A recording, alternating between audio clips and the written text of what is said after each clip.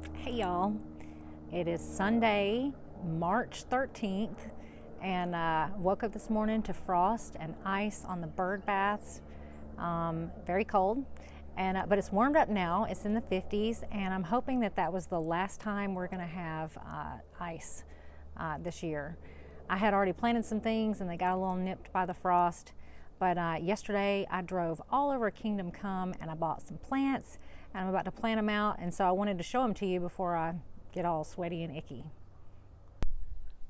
So here's my plant haul. I went to three different places and uh, I went to Streets first. So this is where I got this stuff. So Streets is in Fairhope and I got this uh, adorable little scabiosa and this uh, light green Mexican you know, heather. I've grown the dark green ones, but I've never grown the light green. And got this lovely um, Gaura that's got these little kind of butterfly flowers on it. And this, uh, let's see, fountain grass. It's the fireworks kind. It's got pink on it. So I've got some that has burgundy, but this one's got little pink stripes in it. So I'm excited about that. And this I've never grown before, but don't you love the flowers? Look at that dark center with the light around it. Um, it's called Margarita Dark Pink Cape Daisy. So we're going to see how that grows. I do love it. They have all kinds of different uh, colors, but this one really stood out to me. And then here, some Bidens Pretty in Pink. Now what's funny about this is I have collected Bidens alba. It's a, a wildflower around here and it has white flowers. So I know I can grow this with the paint because I've been able to grow that other stuff um, really not even trying. And then this is one of those lovely uh, sun patiens. It's called Compact Orchid Blush. Isn't that pretty? They had all kinds of stuff at Streets.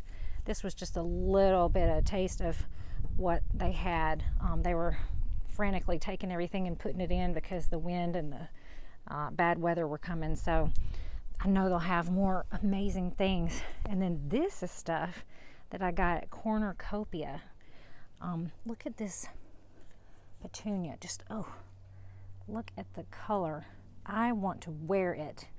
Crazytunia Cosmic Purple.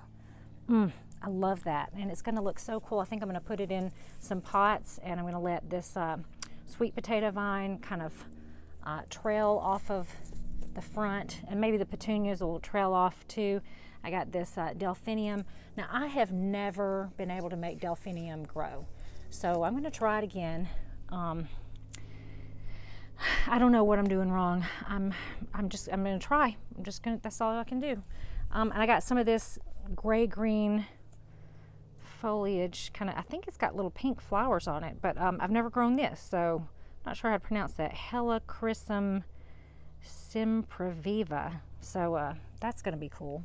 I'm probably going to put one of those in a pot. I also got some rosemary. No, no, this is lavender. I always get them confused. But um, lavender is something that I've never really been able to grow here, and I've done it all kinds of different ways. So this is the kind lavender phenomenal extra sensory. So we'll see. It's got the promise of being phenomenal. So um, also, I got this bronze fennel. Don't you love the airiness of it and the just the color of it is so interesting. And these, I didn't mean to buy these. I, it, it says, look at this, it says Joe Pye weed down there on the pot. And then in the thing it says black and blue salvia. Well, I meant to get Joe Pye weed because I know what black and blue salvia does, and uh, it gets so massive. Um, so now, you know, my idea of where I'm going to plant that is going to be different because Joe Pye weed would have gotten big, but not crazy like the black and blue salvia is. I'm going to show you what mine looks like now. Well, I need a measuring stick to show you how tall this black and blue salvia is because it's, it's, it's, almost as tall as I am. I mean, look, look, look at that. Look, look, it's as tall as me. And when I first grew it, I it didn't even look like it was going to live. Let me turn this around so you can see it. So, so that's black and blue salvia there. It's about five feet tall. Here's another one, And they're just kind of goofy looking kind of sentinels to this bed now. And they're shading out things. And I was thinking about possibly moving them. They're just huge. That's not what I was going for. So I'm not going to be able to plant that black and blue salvia where I was planning on putting Joe Pye weed. Um, so we're going to have to change that. So the only lavender that I've ever been able to keep alive is this lavender right here, and it's actually growing in the shadow of this black and blue salvia. But look at that bloom. Isn't it pretty? I just I can't can't cut it back. Can't cut it down. But uh, this rosemary is straining for light, and I mean it's it's is in shade. But uh, oh, and here, look at that. That is some sun patiens coming back. Um, so I'm thinking maybe the sun patiens. I had several, and look, here's here's another one that seems to be coming back. So we'll see. We'll see what happens with that.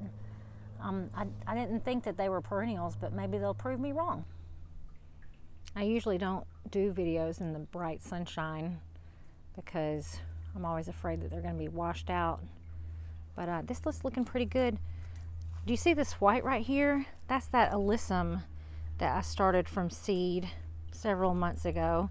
And the thing is, it looks very similar to weeds that I have growing. And so I know I threw seed around in more places than this and I've yanked it up as a weed because I just didn't recognize it as a alyssum. But look, see, I put purple at the edge there, and then I threw out the white. And also, when I planted that, I planted some um, variegated nasturtiums, and they got hit by the frost. You can see here's one right here. It may come back. Um, and then I also planted some poppy flowers. They're not going to make it but you can see the lemon balm just is taken over again. I just don't want this to turn into lemon balm central. Probably going to yank some of this out but look at this. We've got our milkweed coming up so strong and happy. I've got a little precious carpet of violets going under here. I love them I don't know why people treat them like weeds. I think they're fabulous. I've got to show you how high up the passion flower vine has grown. It is almost to the roof of the house. I'm really looking forward to it growing all the way across. I was hoping these nasturtiums would climb. They're they're kind of going outward rather than upward. So they may not make it by the time the um, warm weather hits. And the pansies are just looking so fun. I threw these seeds in here and they just came up all frilly and fun. Let's see if we can get pretty. I've planted hyacinth bean vines all along the fence line because I know that they'll grow crazy and cover this whole fence from here all the way down. I've also planted some uh, morning glories, and well, actually several kinds of morning glories, and some butterfly pea seeds, and some just regular pea seeds. Look how big around this stalk is for this uh, um, kale. It is, this is like the second, I think it's, this is the second year I've grown it. At first it was in a pot. Either second or third. But isn't it pretty? I just love the dark colors. I love the sun shining through the leaves. It's so sculptural. I don't even want to eat it. I just want to look at it. Look at this crazy huge bunch of lemons that were growing on my tree. The seven lemons, and they're all attached. This thing is heavy. It probably weighs about, I don't know, five or six pounds. And it was all together on the lemon tree. I'm not going to let that happen again. I don't think that's good for the lemon tree to try to hold that much weight. All right, so I haven't managed to plant anything. I just put everything around, just trying to decide where it's going to go. And I'll just set it out right here. If you can see, I just wanted a mixture of light and dark and things that have movement and these pops of silver. So I'm hoping that this will all fill in and just have a lot of fun color and texture. I moved all the pots that have the tulips in them and the uh, pansies in them to the back of the circle garden. And I've put these pots over here because I think I'm going to put um, coleus in them again because that did really well. So I'm going to plant these in in the morning. And I put some yellow over here in this bed. Oh, yeah, I forgot about this. When I was over here last year, I planted a Dutchman's pipe vine and it didn't really do well. It kind of piddled, was piddly, but um, it did survive the winter. And look at this. Look at that. That is a little, wait, maybe I should zoom in. A little Dutchman's pipe. I guess it's a flower. Wait, let's zoom in. So there it is with the sun shining behind it. A little Dutchman's pipe on the Dutchman's pipe vine. Why I'm excited about this pipe vine is because it is the larval host plant for pipe vine swallowtails. And pipe vine swallowtails are like super blue and black. They're gorgeous. So you can see better from this direction how I've moved the pots to the back side of the circle garden. And once the tulips come up, I'm going to plant annuals in them. Oh yeah, I wanted to show you this.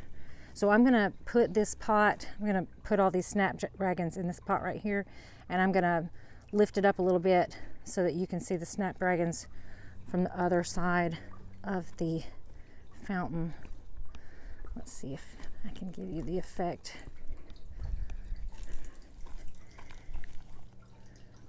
It's going to be up a little bit higher so you can see them. Won't that be really pretty? We planted corn in these this row of pots right here last week and we've already got some coming up. I've planted corn in a container before and I didn't expect it to grow, but it did. It grew and what I did when I planted it was I planted some butterfly pea, that blue butterfly pea with it so it would climb up. So right here you can see here, let me zoom in. That's corn right there in the center. And then this is blue butterfly pea coming up right next to it. So that's going to be an exciting adventure. Um, everybody says you should plant a lot of corn so that it can cross or pollinate or whatever. But you know, this will be enough because it worked last time. And I guess, I don't know if it's the bees that are working overtime, but something pollinated it because we had some really great corn that grew from the pot, in the pots. I didn't get as much done as I expected that I would. Uh, I ended up uh, putting the plants around and then I just went to Smoothie King and got a smoothie because I got hot and tired. But um, I'm going to water these plants and by next Friday or Saturday, Saturday I'll have them planted in. I can show them to you. And also I want to end this video showing you some um, a butterfly that I released. It was an uh, Eastern Black Swallowtail. I released it about a couple of weeks ago and uh, some other little things that I found around the garden. Y'all have a great gardening week. Thanks for watching. Bye. I have an eastern black swallowtail ready to release. I don't know if I can get it. It's, he's stuck on, uh, I'm not sure what. So let's see if I can, oops. He's stuck on some, oof. Oh, oh.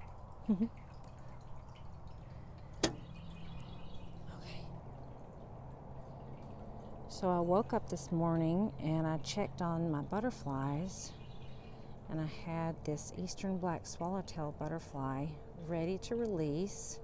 This is one of the ones that overwintered in my potting shed um, on a pot of parsley. And uh, just look at that gorgeous gorgeous blue on the wings. Is it not perfection?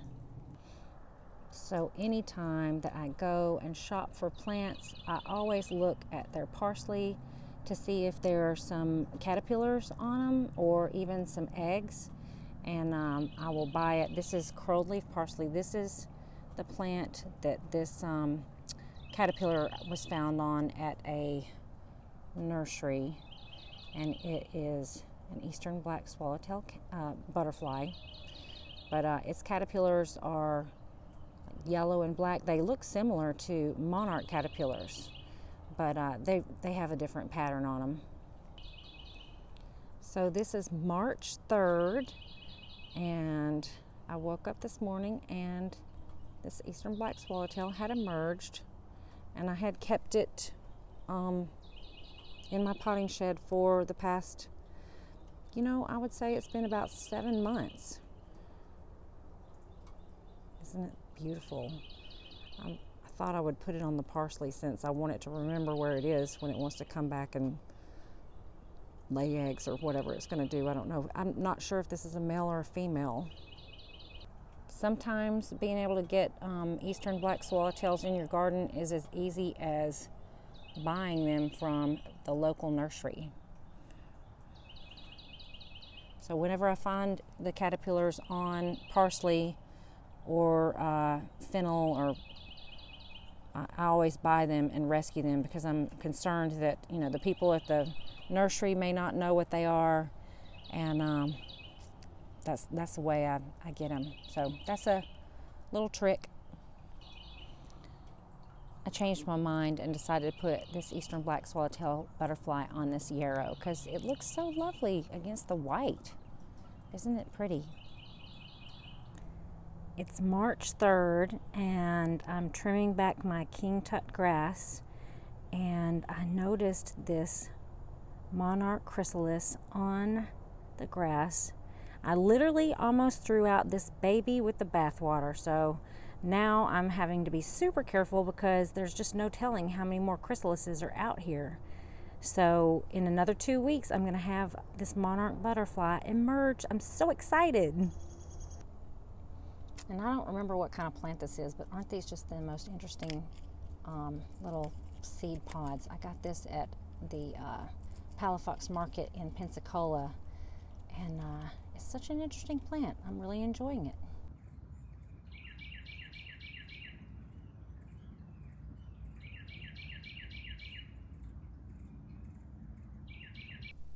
And even though it was freezing last night, this monarch caterpillar survived because I saw him out here yesterday and I said to myself, I need to bring him in. And then I got, you know, carried away by weeding and things and left him out here. But here he is. I've just discovered him and he is still fine. Here's another one. And he's on a little five inch milkweed in the front yard. So we're going to be having lots of monarch butterflies. I saw one fly by me while I was in the backyard a few minutes ago. So they're here and they survived last night, and hopefully they don't have anything else to worry about. It's March 13th, 2022, and look, it froze last night. There is ice on the bird bath. There's also ice on this bird bath. It's crazy. I kept checking the temperature all throughout the night, and thought we had maybe gotten away with it, but uh, it did freeze last night.